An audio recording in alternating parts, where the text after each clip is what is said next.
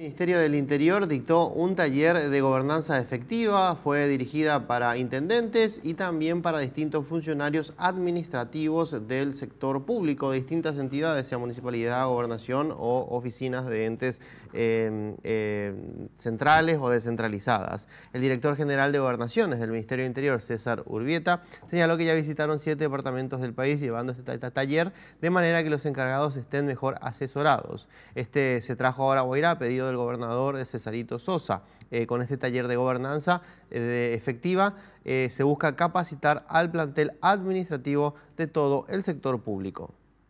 El Ministerio Interior en sí, desde la Dirección General de Gobernaciones, dependiente del Viceministerio de Asuntos Políticos, estamos trayendo el programa Gobernanza Efectiva, que es un programa que vimos la posibilidad de poder traer para las gobernaciones, para los municipios, para que puedan tener una mejor capacitación en cuanto a lo que sería a una buena ejecución, tanto em, administrativa, entre otras cosas, ¿verdad?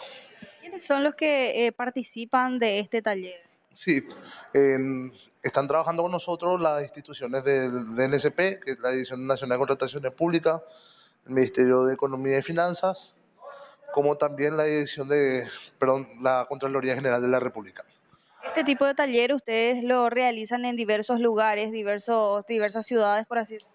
Sí, el objetivo nuestro es a través de la gobernación, y en ese sentido también le agradezco al gobernador de Guairá, al señor César, que a través de él, por su interés, nos haya solicitado para poder llegar a sus municipios, para que los tanto los intendentes como sus funcionarios puedan ser capacitados ¿verdad? ante la nuevas leyes que estamos teniendo en lo que es contrataciones públicas, entre otros. Hay muchas solicitudes para realizar este tipo de talleres. Sí, nosotros ya venimos haciendo siete jornadas en siete departamentos. estamos tratando de llegar en la, por lo menos a tres departamentos más este año y poder llegar a varios municipios y a varias instituciones también privadas.